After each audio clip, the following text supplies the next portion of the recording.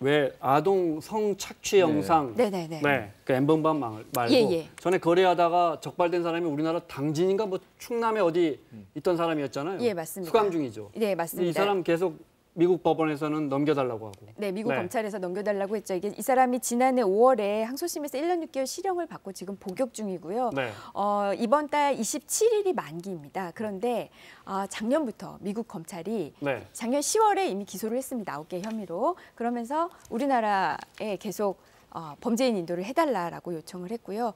어, 검찰이 법원에 우리나라 검찰이 우리나라 법원에 어, 우선 구속영장을 신청을 했습니다. 이 사람 네. 27일에 출소하잖아요. 그런데 이 사람에 대해서 어, 이 인도할지 여부를 심사해야 되니까 그동안 인신을 아, 구속해달라는 그럼 건데 이 사람 저 출소하고 나서 미국 보낼 수도 있는 거네요. 그렇죠. 지금? 이 사람 출소해도 집에 못 갑니다. 아, 다시 감금되어야 되고요. 네. 어, 그리고 구속된 상태에서 법원의 인도 여부 심사를 받고요. 네. 법원에서 인도 결정을 내리면 법무부 장관의 최종 승인을 거쳐서 미국이 우리나라에 와서 네. 인도를 해갑니다.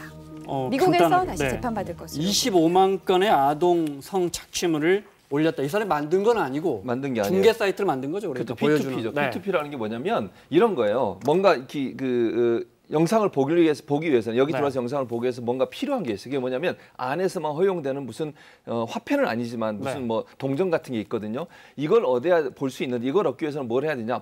본인이 또 올려야 돼요. 네. 그러니까 P2P라고. 그러니까 결국은 뭐냐면 새로운 영상을 계속 발굴해내기 위해서 사람들한테 영상을 보고 싶으면 당신도 찍어서 올려라. 네. 이러다 보니까 여, 아동 성착취물이라든지 아니면 여성을 성착취하는 영상물이 점점점 많이 올라오는 거예요. 그 사람도 자기가 하나 올리고 다른 사람 걸 보기 위해서 더 올리게 네. 되는 거죠. 이게 이제 이 사람이 했던 아주 네. 나쁜 전략인데 이것 때문에 이 방에서 신, 그러니까 새로운, 그러니까 다른 데서 없는 새로운 것이 훨씬 많이 네. 발견됐다고 합니다.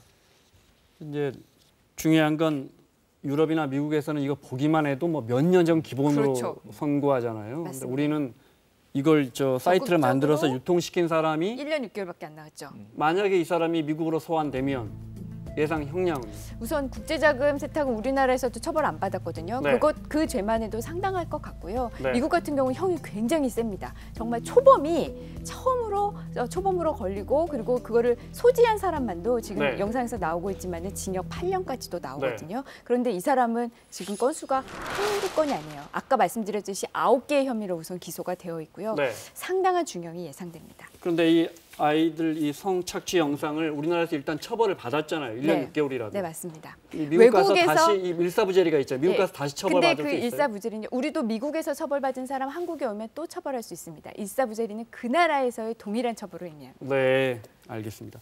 곧 결정된다 이거죠. 이 사람이 다시 맞습니다. 미국 송환될지 안- 저 보내질지 안 보내질지는 알겠습니다. 자, 마무리하겠습니다. 두 분 수고하셨고요. 사사건건 내일 이 시간에 돌아오겠습니다. 고맙습니다.